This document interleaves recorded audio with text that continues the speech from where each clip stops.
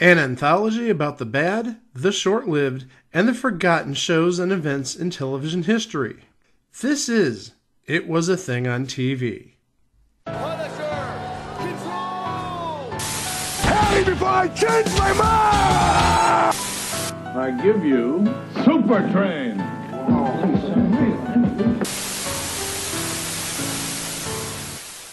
Episode 361, submission number 2351 Small Fortune. Small Fortune aired on the NBC television network from May 31st to July 19th, 2021 for six episodes. That would be 10 less episodes than the Hudson Brothers Razzle Dazzle show and Uncle Croc's Block. And this is the third thing that we've covered from 2021 in the episode canon. The other two would be Dad Stop Embarrassing Me and the Tic Tac Toe Tom Bergeron pilot. Prepare for an epic journey around the world as competitors face the toughest challenges of their lives. Teams push to their absolute limits. The teeniest, tiniest games ever seen on TV. Tiny games, but they tough. With over a quarter million dollars on the line. They'll play five mini games, The pressure's on you. but they'll only walk away with the cash if they can steal it. In our final game, the Big Little Heist. Let's open that bank. Sit back. Let's play ball. This ain't your grandma's game show. Or is it? This is Small Fortune. It's my first season on the show. I can't have a heart attack yet. Okay, if I were like a normal viewer and I knew nothing about this show, if I saw no promos and I saw that, I'd be like, what the f- is this that I'm watching? First off, did you see what it said on the scoreboard of the tiny baseball stadium? What did it say on the tiny stadium scoreboard? Okay, it's supposed to be modeled after Fenway Park. So if you've ever seen the manual left field scoreboard at the bottom, you know what it looks like. So instead of saying Fenway Park at the top, it said Fenway Park. Hold up. That's not even the worst pun on this show. Obviously, we're going to talk about the games on this show, but the end game takes place in Wells Fargo Bank. so hold on. If they had a tiny model of the city of Philadelphia, would they have something called the Wells Fargo Center? Got question too. Wouldn't it be appropriate for Don Lapre to promote this show with tiny hats? I was just about to say! This if only but- Don, hold on. If only Don were still with us, because he would place advertisements in newspapers with tiny classified ads about the show. Finally, a game show that only Don Lapre could love. Because you're making big money with these tiny stunts. So, yeah, for five glorious weeks in the summer of 2021, we, in the prime age of the game show in the new millennium, we have this show. But where did this show come from? Yeah, Chico, where did this show come from? It came from our good friends in England, where Dermot O'Leary, who is known for hosting many a television and radio program, in fact, he was the host of The X Factor from 2007 till its cancellation. And since 2021, Dermot has hosted ITV's This Morning on Fridays and school holidays and bank holidays, alongside Alison Hammond, who, oh, This is CNN breaking news. Alison Hammond is the new host of the Great British Baking Show. Oh, that's fantastic. But yeah, Dermot O'Leary is the host of Small Fortune, where teams of three contestants are tasked with completing dexterity intensive challenges taking place within miniature scale models of real world locations. And the nominated contestant is allowed only one attempt, with each completed challenge adding a maximum of 50,000 pounds to a large prize jackpot. 50,000 pounds, five challenges, 250,000 pounds if you do it right. Now, whoever wins the best of five challenges must play one more challenge to claim that jackpot. All the team members who complete their respective challenge are eligible to attempt that final challenge. But each contestant only receives one free go at it before being penalized for failure. And the penalty is a paltry 10%. So that show aired between February 2nd and March 9th of 2019. A month after the show went off the air in the UK, NBC ordered an American version from the same producers who produced the ITV version. And of course, because it's NBC, it would be co produced by Universal Television Alternative.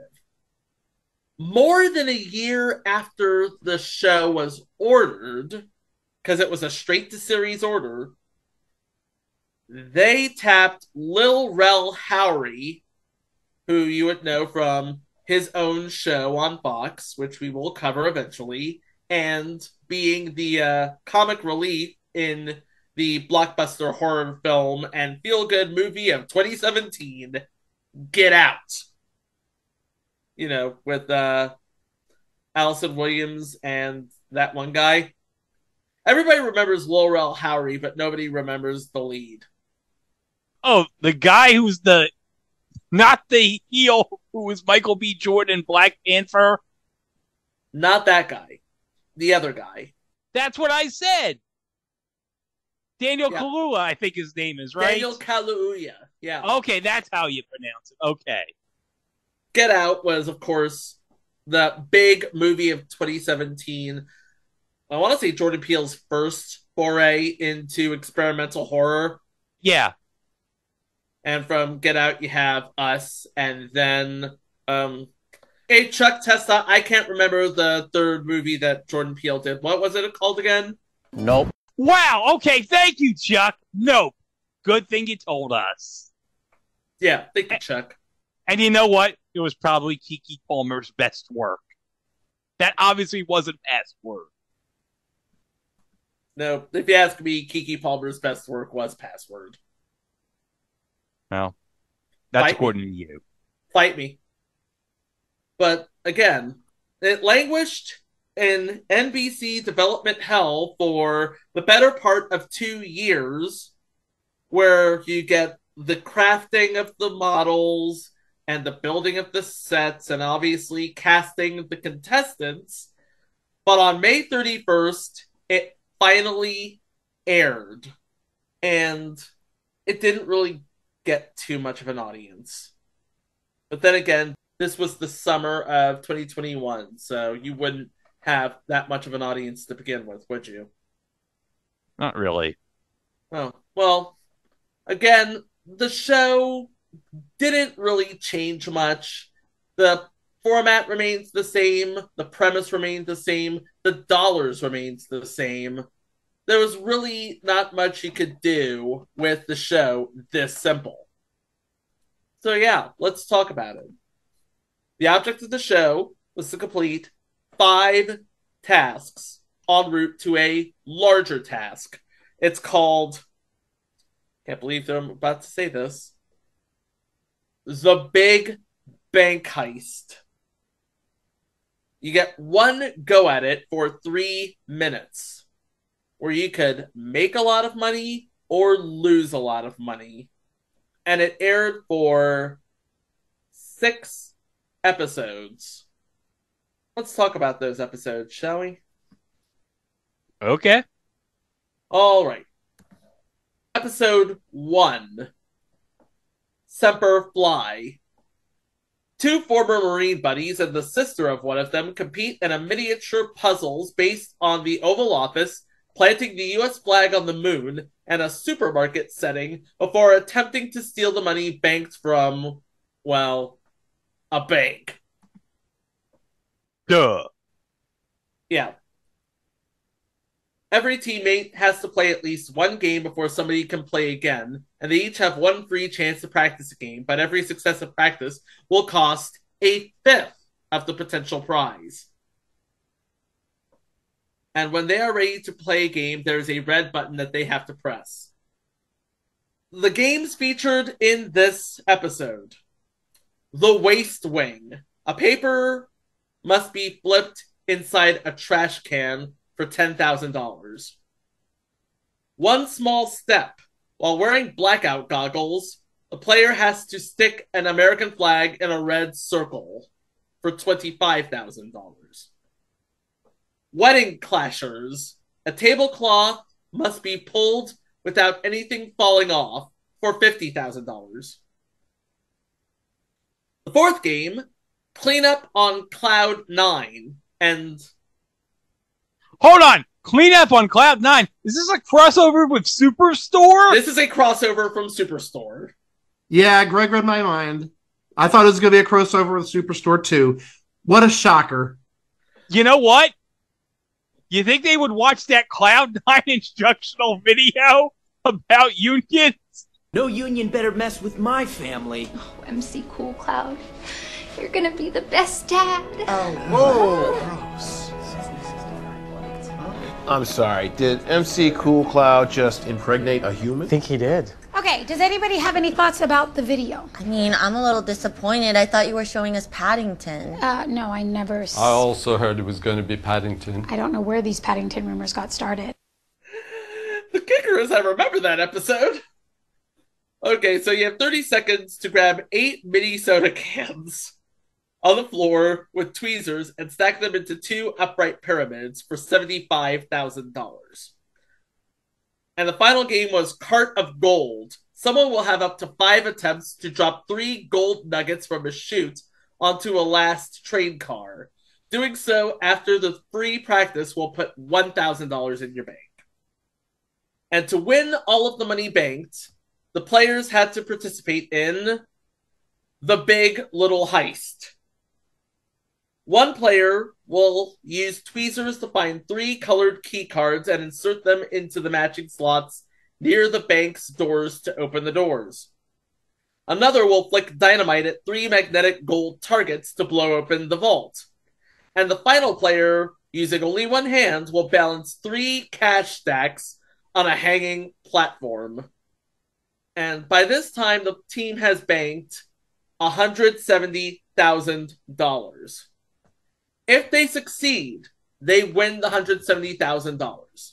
However, if they fail, they only win a tenth of that, which is $17,000. They succeeded and won the $170,000. Episode 2 Grandma Knows Best.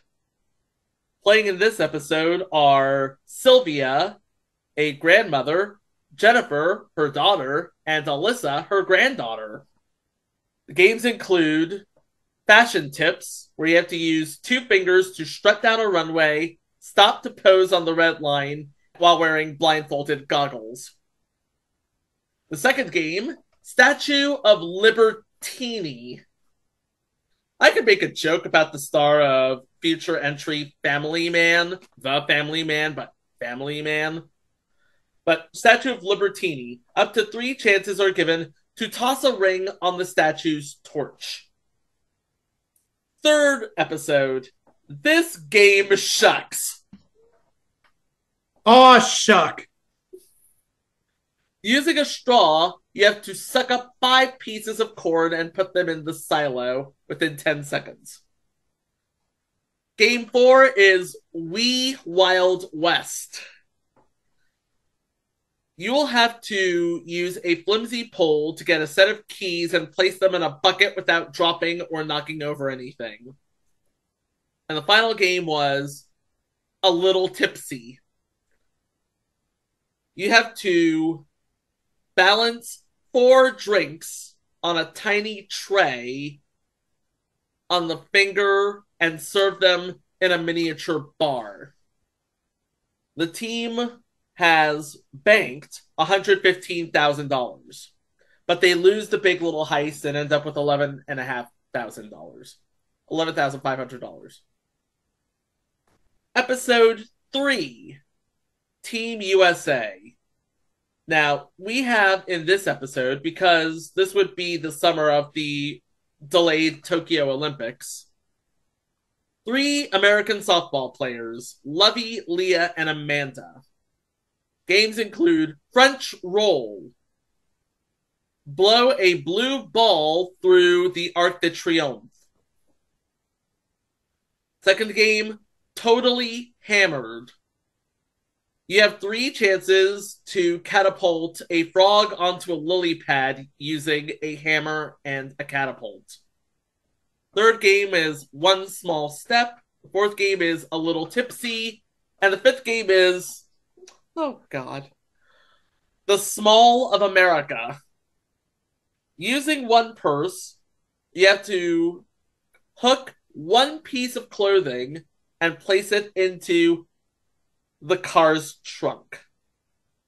They failed the big little heist, so instead of the 125,000 that they could have won, they end up with $12,500.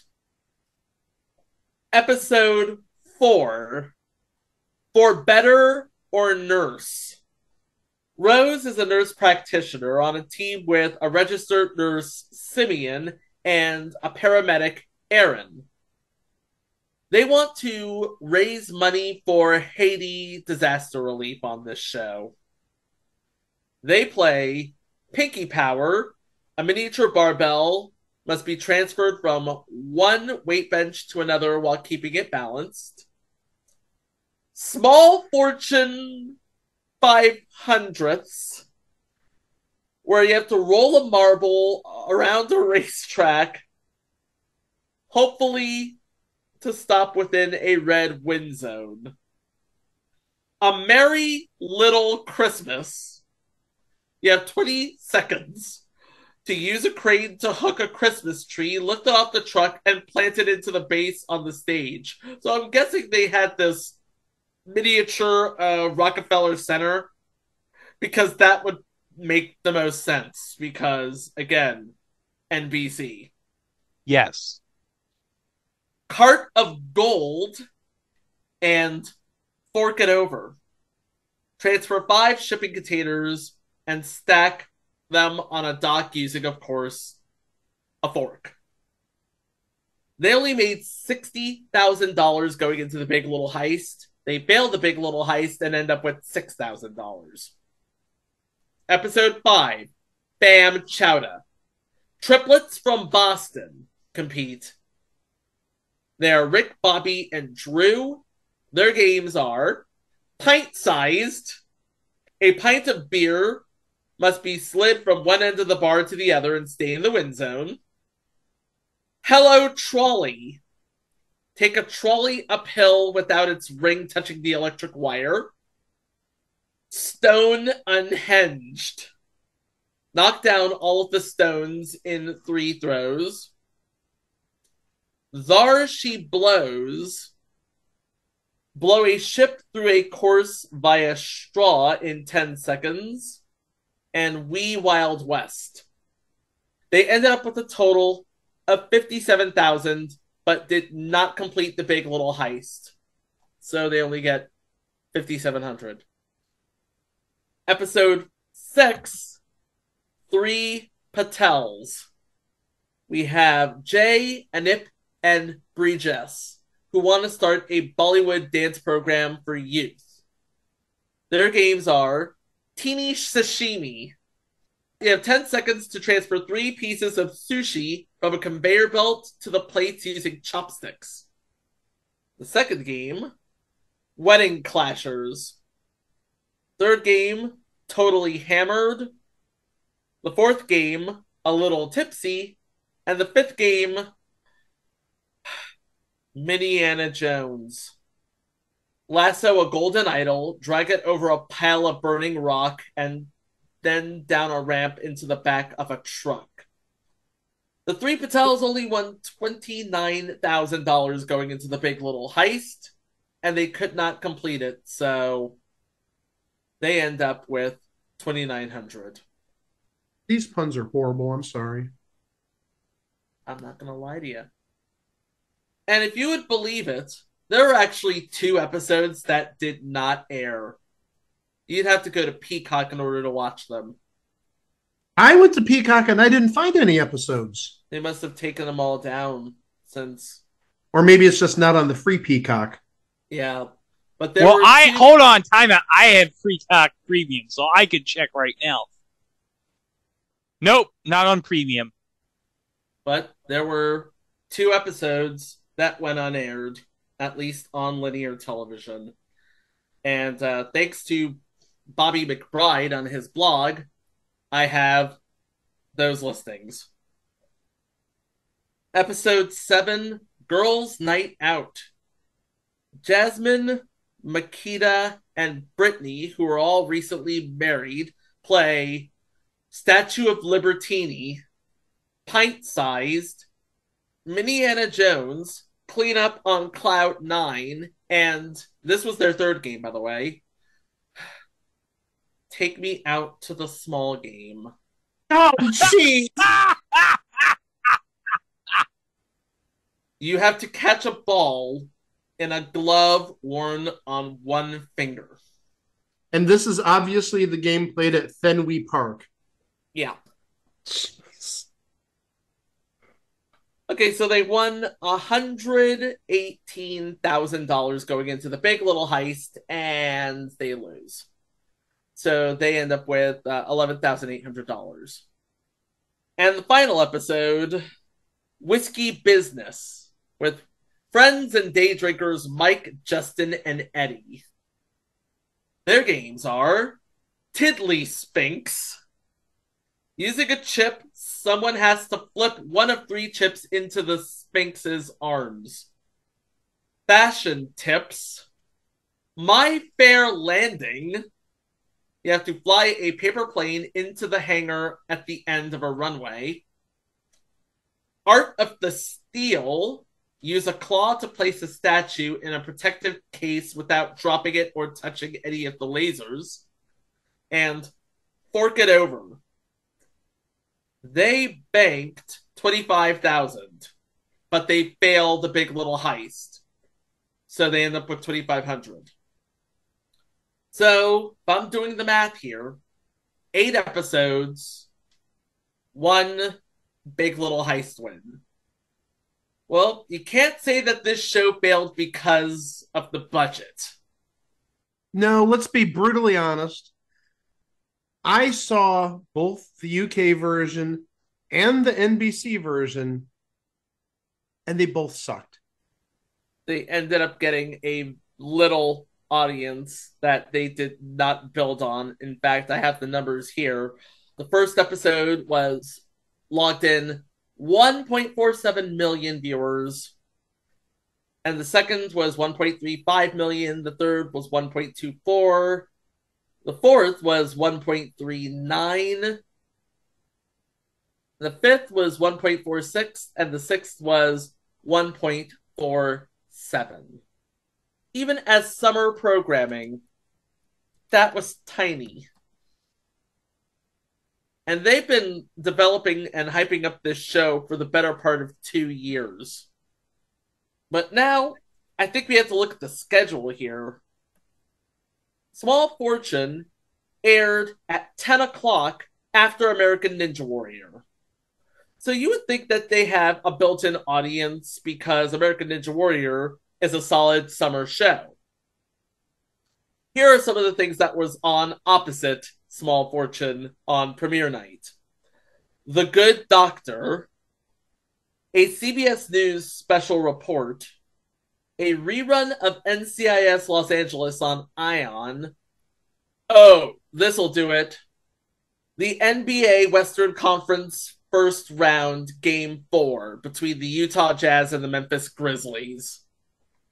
So it had a chance to get an audience, but for that basketball game on TNT. So maybe we'll have better luck with the next week. It was on against another rerun of The Good Doctor, a rerun of Bull, and game one of the NBA Western Conference semifinal between the Denver Nuggets and the Phoenix Suns. Again, 10 o'clock, not much on and not many people watching, but NBA was still doing really good numbers there. The next Monday, it's on against a rerun of Bull and future entry The Celebrity Dating Game with Zooey Deschanel and Michael Bolton. Meanwhile, the NBA Western Conference semifinal game would be game four between the Jazz and the Clippers. They skipped June 21st for some reason. Oh, you know what it was? Ninja Warrior aired an hour later because NBC was airing the US Olympic track and field trials that night. So that's why they skipped that Monday. Well, the Olympic track and field trials are serious business. Just ask Dan O'Brien. Refer back to the Dan and Dave episode. I was waiting for you to reference Carl Lewis, actually. Oh, okay. I'm Carl Lewis. I'm Carl Lewis. I'm Carl Lewis. It's been a long time since we've used that one. So Small Fortune is back in its regular time slot where it was up against Celebrity Dating Game and Bull on broadcast. And meanwhile, on cable, we have, oh my, Stanley Cup finals between the Tampa Bay Lightning and the Montreal Canadiens. Yeah, because remember, the reason why it's Tampa Bay and Montreal, because, yeah, they're both in the Eastern Conference. This was the first year after COVID where they had, like, the teams regionalized in regionalized conferences. Yeah. And they just seeded them, I think. So that's why it was two Eastern Conference teams in the finals that year. And the next week, they didn't even bother with the show because the mothership was airing game four of that series, which went into overtime. And by July 12th, it was up against Shark Week. It was up against Shark Week. Uh, you're not beating Shark Week. I'm sorry. And the All Star Celebrity Softball game on ESPN. Well, that explains it. You're not beating Shark Week, and you're not beating the Taco Bell All Star Celebrity Softball game because that obviously is going to have the Miz in it. And so nobody's going to bother with Shark Week or The Miz. And on its last week, it was up against the usual suspects, celebrity dating game, and oh, one more thing it was up against. What's the most popular show on television on Monday nights? Well, I'd say Monday Night Football, but Monday Night Football wouldn't be on No, right now. no, uh, uh, something that was on USA. Oh Oh, yeah, I was gonna Oh! say, yeah, Monday Night Raw, yeah. Yeah. Well, you You're know not- what? Ho- hold on. You know what Small Fortune's ratings had in common with John Cena? Don't say it. Don't. You couldn't see them. He said it. Predictable, but still funny. Well, very much so. But yeah, uh, small ratings, small fortune, small budget. and that John Cena joke was timely because the Suicide Squad probably was out at that same time. There you go. Even as a fiscally, economically responsible game show, you could probably get away with another season. Probably. But on January 2nd of 2022, NBC handed down their verdict and canceled the show after one season. I'd say, where did this show go wrong? But Mike pretty much nailed it. It sucked. It sucked. Hold on. Hey, guy from Pod People, what's your review of this show? It stinks. Wait, hold on. I think we need to hear from Jay Sherman too. What do you think? It stinks. Hey, Cleveland Cavaliers announcer, what do you think of this show? Get that big stuff out of here. Don't know. Okay, his name is Austin Carr. Thank I didn't you. know, okay? I okay, didn't know. Cleveland announcer. His name is Austin Carr. His number seven is retired at Rocket Mortgage Fieldhouse. You put some respect on his name, and he I says, would if I knew what it was. and he says, "Get that weak stuff out of here." And now Toronto Raptors announcer Jack Armstrong. Get that garbage out of here. Yeah, everybody's all in agreement. It stinks. Charles Barkley, say something about this show. That's terrible. Hold on, I got one more. Hey, Charlie Robinson, how do you feel about this show? That's a penis. Whoa, wait. I want to know about this show. I didn't. We're not talking about Australia's naughtiest home videos, Charlie. I appreciate the input, though. And we're also not talking about that build that Ted Mosby just made for you. Can I just tell you right now, this show that aired in 2021, I don't think it got any press. I don't think anybody was talking about this. Well, obviously, somebody at NBC liked what they saw. They basically ordered the show in 2019, but took their sweet time getting it to series. It was in development for two years. Lil Rel was attached for one of those years. I know game shows to have as quick a turnaround time as a single day. I'm talking about, of course, Who Wants to Be a Millionaire, The Million Second Quiz, even so far as the Challengers. You remember the Challengers? That was basically current events as they happened. You needed to stay current. But to sit on a game show for two years?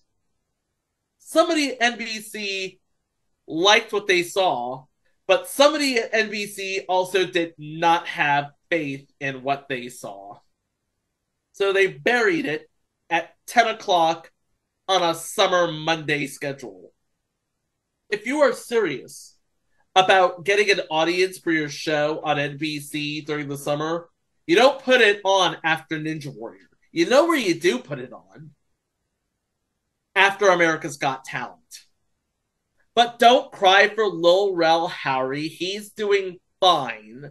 He's on Eureka. He was in an episode of Poker Face. And of course, later that year in 2021, he would star opposite Ryan Reynolds in the feel good movie of 2021, Free Guy. So, yeah, Lil Rel Howery, his career is doing okay. And his co-star in Free Guy is doing just fine too. Right, Mike? Yeah, to say the least, uh, that guy is having a pretty darn good week. Yeah. And who knows? He might be owning a hockey team in the near future. Who knows? Lord knows he has the money for it now. Yeah, just ask Rob McElhenney. I was going to say this would be a step up from the Wrexham football team. Is it? Yeah. Well, Wrexham is like what, like third, fourth division? They're fifth division. Fifth division. But there is one plus. They're in FIFA 23. And you know who else is in FIFA 23, Mike? Ted Lasso, isn't he? Yeah, Ted Lasso's team, AFC Richmond, is in FIFA 23. Which, hold on. I'm guessing this is Britain's payback to us after giving them Ted Lasso. I guarantee you this is all Anthony Head's fault. I wouldn't put anything past Anthony Head. He looks like a bastard. Yeah, he engineered probably one of the biggest heel turns in television history. I know Chico hasn't seen the first two seasons of Ted Lasso yet, so don't spoil it for him. Yeah, I, I, I, I just got Apple TV. I'm just getting caught up on all this stuff I've missed. Don't worry. When we get to the end of season two, and you're going to tell me, I'm going to say something about it, and then we'll have it yes or no about it. But I won't. I won't say any more. So okay, let's finish this episode. Yeah, let's finish this. Like I said, there's not much to say about Small Fortune except for a brief time during the summer of 2021, it was a very small thing on TV. Well, we have bigger things on TV over at our website. It was a thing on TV.com. We have our previous 360 episodes, all of our mini-sodes, our live watches, all of our specials, including our two Hall of Fame episodes, both of which were very good listens. We also are on all social media, and it was a thing on TV, except we were apparently too big for it was a thing on TV on Facebook, so they had to stick us with it was a thing on TV podcast. But yeah, Twitter, Instagram, Hive Social. And we get the Mastodon account over at It Was a Thing on TV at TVWatch.party. And of course, we're also on YouTube. Don't forget to like, subscribe, hit the notification bell so you can stay up to date on all of our future entries, including a live watch we have coming up soon. Yeah, baseball's coming up soon. And Mike brought this up during one of our episodes a couple month maybe a month or two ago. Yeah, it was like two months ago. It was since January, I believe. It's been in the 2023 calendar year. So now we're gonna watch it. We're gonna watch Tim Conway. And what goes well with Tim Conway? Baseball. And then next week we have a cartoon, a kids show, and in between some commercials. But not just any commercials. The best video game commercials to ever come out of the 80s and early 90s. And yes, Paul Rudd is involved. Oh no! Hold on. Chico, he didn't cause anything bad, did he? All I've heard was Paul Rudd, a drive in, and a Super Nintendo. Okay, good. Because I thought he did something about the destruction of the universe. That's good. That's, yeah. Thank God that didn't happen. Oh, thank God that didn't happen. Thank God that Scott Lang saved us all. Yeah. He totally is not going to save us all going We're forward. We're, We're doomed. doomed. We're all doomed. We're all He's doomed. doomed us all. You just brought Kang the Conqueror onto us all. Now, hold on. Yeah, now that's Loki and Mobius's problem. But no, you know whose problem that is? Summer versions of us. Oh, that is. Yeah. Because That's right. Loki season two drops this summer. Yeah, the summer variants of us. That's going to be their problem. Oh, yeah. But all of that is coming in the weeks to come right here on It Was a Thing on TV. Oh, and by the way, in a couple of weeks is our Easter show, and you won't believe what we found for our Easter show. What? People being reanimated from the dead. Oh, that's fantastic. It fits in with Easter so nicely, I think. Oh, that's great. Anyway, all of that is coming up in the weeks to come right here on It Was a Thing on TV. Thank you so much for listening. Please be kind to each other, and we will see you for the next one. Row! Oh, yeah. Tiny ads to promote the show. Tiny class. I still say, classified ads. You know what? Let's get a clip of Don Lapre to end this episode. Tiny ads. I started out in my one bedroom apartment placing tiny classified ads. Oh I started out with You have, tiny. to, you have to say it like you're passing a hemorrhoid. taking you have to say it while you